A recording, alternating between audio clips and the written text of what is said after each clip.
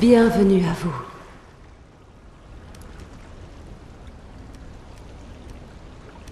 Beau travail.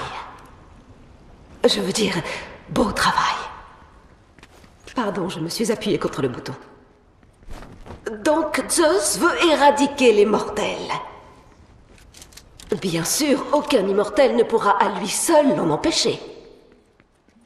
Mais si nous étions réunis derrière un héros charismatique, l'humanité pourrait échapper à sa colère.